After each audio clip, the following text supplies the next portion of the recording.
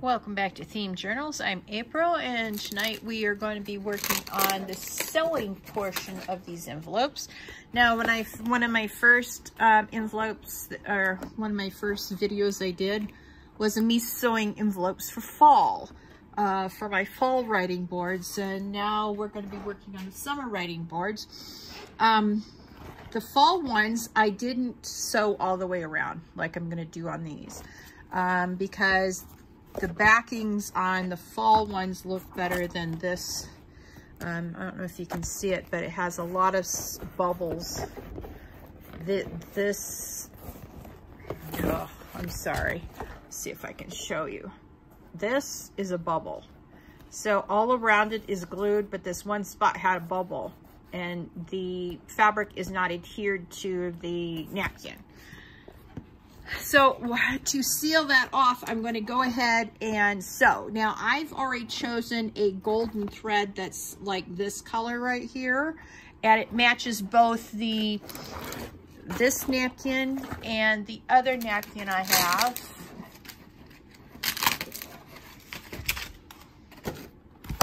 Which is this one. So you can see both colors are present in both napkins. So I'm gonna go ahead and use that one, um, one color for both sets of napkins. All right, and I'm not going to talk um, after this, so I can speed it up and you uh, and it'll be a shorter version of the video. All right, you all have a lovely evening now.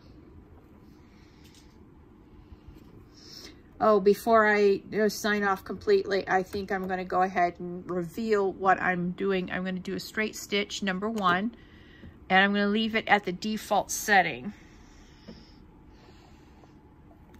When you do the pinking shears, you don't need to do the um, zigzag stitch, all right? Now, you all have a good evening.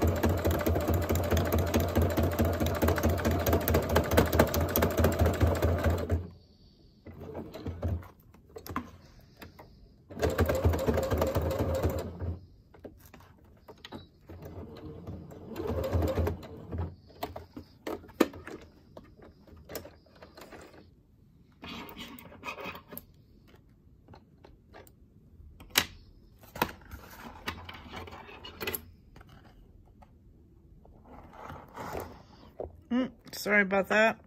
I just wanted to show you that you have to cut off these little pieces. You don't want any little hangings on or um, certain things I don't mind having the sewing tags on, but this is not one of them. Okay, so you can see that it went all the way around. And the reason uh, behind sewing it all the way around instead of just in certain spaces after I put the folded up for the envelope is because after I pinked it here, some of the napkin was coming up from the, um, what do you call it? The uh, fabric. So sewing it all the way around will take care of any pieces that are trying to come apart and keep them together forevermore.